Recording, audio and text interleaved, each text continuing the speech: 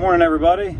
It is Monday, June 19th? What the hell date is it? Yeah, it's June 19th. So we are changing out an evaporator in a carrier RTU and also fixing a leak on, I think it was either the discharge line or the suction line. I diagnosed this, um, it's been weeks ago now. I mean, it's probably been six weeks ago. I'm gonna link the video up here and uh, so you can go back and take a look at the diagnosis of it. Uh, it had a dirty condenser for starters. Then once I got looking into it, it had, uh, the evap was in horrible shape and it also had a leak on one of the compressors. I can't remember if it was the suction or the discharge, but it did have a leak. Um, so we're gonna change that evap out today. We're gonna fix that leak and might be one or two other things we gotta do to it. I can't remember now, but I'm about to go pick up the coil from uh, the carrier distributor right now. And then we're gonna head up there and get that changed out. Stay tuned. Something real quick before we get into the video. Uh, I'm actually filming this after I filmed the video, but um, anybody that knows anything about the Google AdSense, uh, let me know. Send me an email or comment down below. I hit a thousand subscribers uh, last week, and uh, thank you everybody for subscribing. But uh, it seems like Google AdSense has taken a long time to approve my account.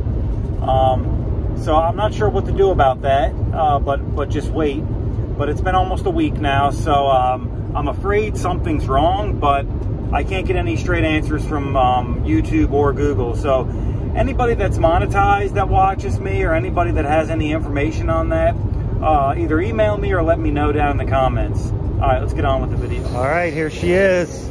Like I said, I'll link down below or somewhere up, up around here somewhere of the original video I made of this.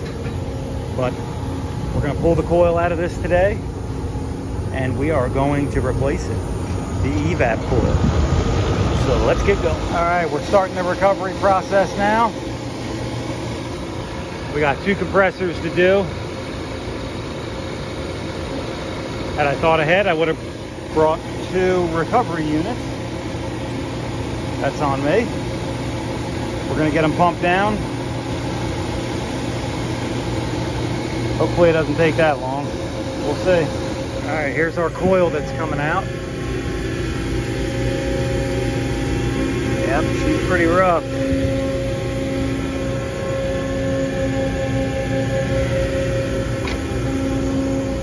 All right, I was dealing with some head pressure issue. It was going above 400. Really didn't have a good means of water out here, so I made a subcooler. Just had a 3 8 copper. So that's got me down enough where I can keep recovering. I know they make subcoolers you can buy and they're nice and all, but this is basically all it is. Just a coil of copper that you drop into a bucket. Had I had more 3 8 I probably would have made this coil bigger, but this is all the 3 8 I had on the truck. All right, we got it recovered and we got our top off. Now I'm fairly certain it's gonna have to come out the top. So I still got a bunch of screws to take off. I'm pretty sure that's the right plan of action. All the screws out and then lift it straight up. Let's take a look from the other side. Yeah. the filter rack's gonna have to come off. All right, let's take some screws out. Let's get this thing loosened up. If I remember, well, hopefully it's not fastened to the drain pan and it will just lift right up off the drain pan.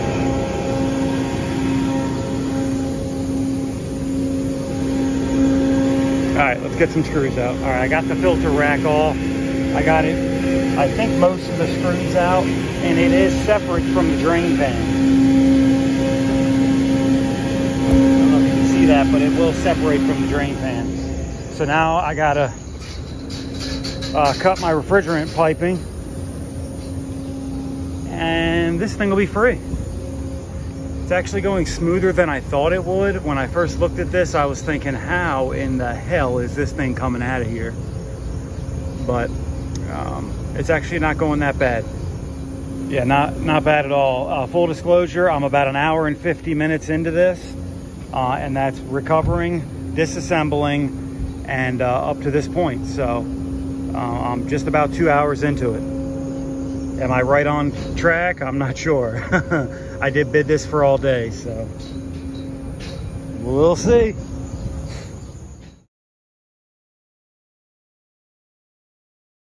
All right, actually, before I start cutting piping, I'm gonna go unpackage the new one and I wanna take a look at it and see what all they give me, what kind of stub outs they give me. I'm thinking they'll probably give me a stub out here and a stub out here on both of them. So basically I'm gonna have these goosenecks on both of them. That's what I'm hoping. If that's the case, I might just unsweat those. But let's go take All a look. Right, yeah, it does have these goosenecks here. So um, I think I will unsweat them up there. That way I have these. Uh, I can just, you know, connect right back.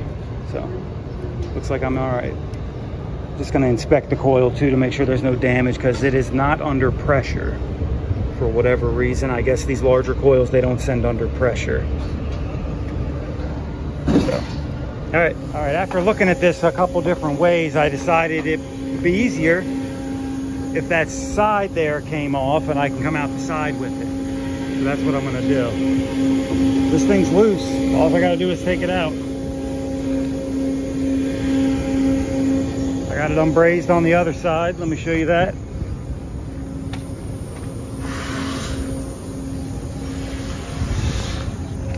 It's all unbrazed.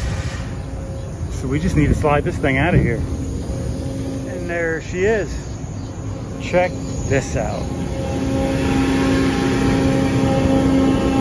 That's pretty gross. That's a good inch of buildup on the backside of that drain pan. We'll get that cleaned out before we put the new one in. Yikes.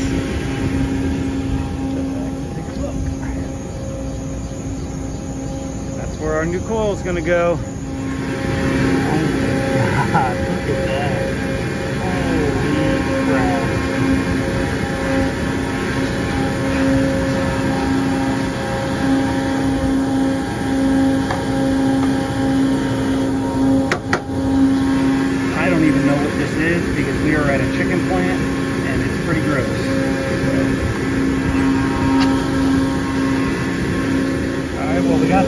up a lot better than what it was. Next step is to get this oil, new new coil in here. So I got to find my helper. He's around the plant doing PM somewhere.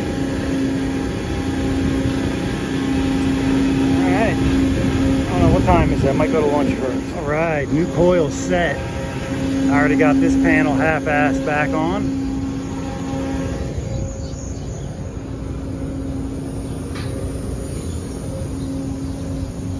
and all my lines are, matched up so I got to braze those in.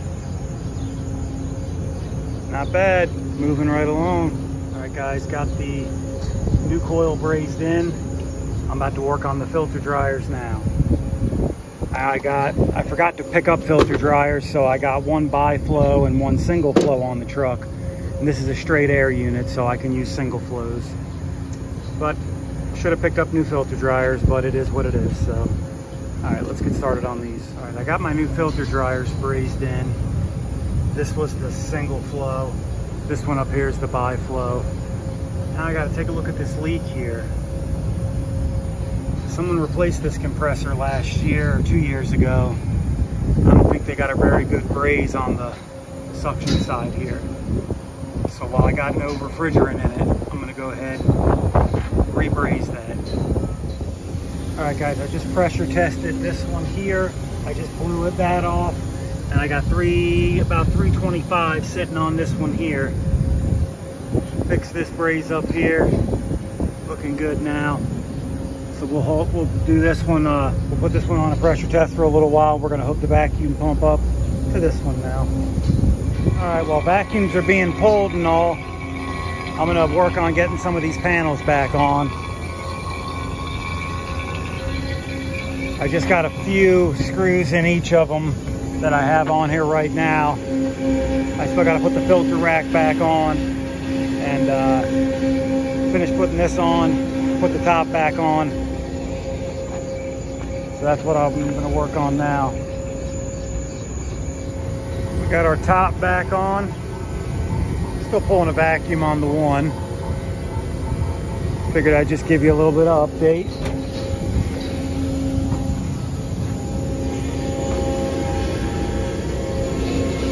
Yep, I think I'm almost done with this other vacuum. But for the most part, all the panels are back on except the ones that are easily removable. Like these panels right here are easily removable. And uh, I can probably start putting some of this stuff away because I'm gonna need to go grab the refrigerant off my truck here in a minute. But yeah, not going too bad. Not going too bad at all. I might be a little later than I wanted to be today, but um, everything's moving along pretty smoothly. So haven't hit any hiccups yet anyway. All right, guys, we're filling her up with refrigerant now. Uh, I already got the one circuit uh, with about six pounds in it. And this circuit, I'm just turn the refrigerant on to it now. It's got about three, going on four pounds. Then we'll power this thing up and, uh, and top off the charge. Then I got a bunch of cleaning up to do. this is circuit two I'm hooked up to right now. It's kind of all over the place. The uh, subcooling's pretty high and then the superheat's low. But just a couple minutes ago, the superheat was about normal. So it's kind of all over the place, but I do have a really hot box right now. Because my supply temperature is only 64, but my return was like 88, something like that, 87. I'm gonna hook up to my other circuit now and, and see what that's doing. Yeah, see the superheat's coming back up now.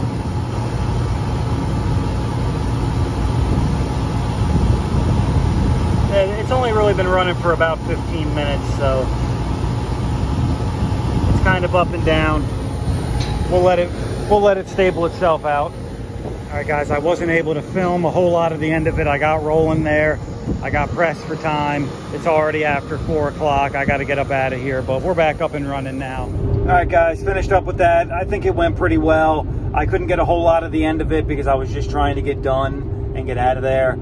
Uh, but I think it went pretty well. I'm going to have a guy check on it tomorrow after it runs all night and cools that space down. It does a, a engine room. A, a, it has a bunch of pumps and stuff in it, and it was about 90 degrees in that room when I first turned it back on. So um, I want to let I want to let it run through the night and see what happens. Uh, subcooling was a little bit high, so I was a little concerned about that. So he's going to check that out for me. So let me know what you guys think down in the comments, and let me know what you guys uh, have to say about the AdSense um, accounts it seems like it's taken me a long time to get mine approved, and that might be normal, but I feel like a, a week is a little excessive.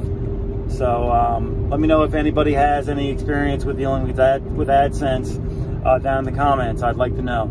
So, all right, guys, thanks for watching.